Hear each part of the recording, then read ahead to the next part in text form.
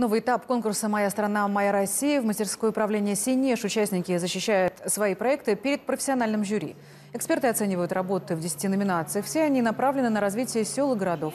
Авторы лучших проектов получат грант на воплощение своей задумки в жизнь под руководством опытных кураторов.